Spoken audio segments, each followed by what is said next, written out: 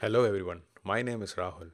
In this video, we'll look into how to enable role-based access using security groups in Azure AD.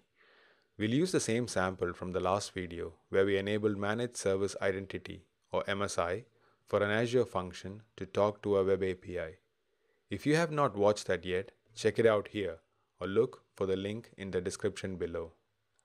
We have the Azure function set up to talk to the web API using the MSI token provider and log out the values. I have this all set up in the Azure portal where we can see this in action. Clicking run executes the function which talks to the API and logs out the values as expected. As you can see, the web API currently returns for all authenticated requests. We might need to restrict this to certain groups or sections of people in our organization. Let's look at how to restrict this endpoint for only admin users. First, we'll create an admin user group and then add the Azure Function MSI as part of that. For that, let's go to Azure Active Directory. Under Groups, I already have the admin group created. Under Members, let's go and add the Azure Function MSI principal. Searching for the function name, you can see the MSI principal for that. You can add and select that. If you're dealing with the web app which has users logging in, you can very well add members, which are those usernames. For example, I can add myself as an admin. But for this example, we'll just use the MSI service principal. Going back to the Azure directory, let's go and update the application manifest under app registrations, let's go to the AD app that's used to authenticate and update the manifest so that it returns the security groups. The group membership claims I have already updated to security group. This enables the token to have the security group information of the logged in user. Let's head back to Visual Studio and go to the values controller. We now need to add the authorize attribute and say the policy and give it a name, the admin policy. To add the admin policy in startup.cs, I have added this line of code. Let's look at what this is doing. Services.add authorization and you add a policy for the specific authorization. In this case, I've used the name admin. You can then add a requirement to that policy saying it needs to be a member of a group requirement. This is a custom created class, which is nothing but a value object that holds the group name and the group identifier.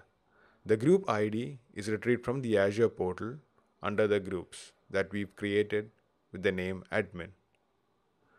We have a group member handler which handles this requirement and it implements a specific class. All that it does is get the claims of the user from the context and then checks for the group's claims and see if this ID is present in there or not.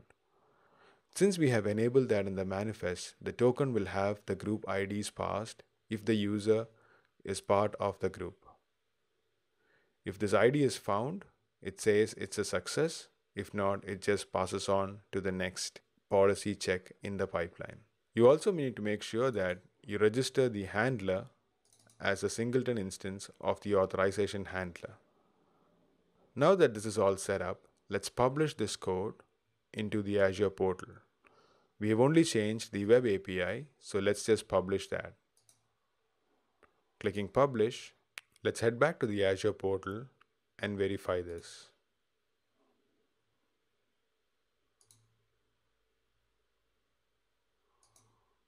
To test this, let's initially remove the MSI principal from the group. The Azure function should now fail with an unauthorized exception. You can see it's a forbidden request. Let's go back and add the MSI principal to the security group.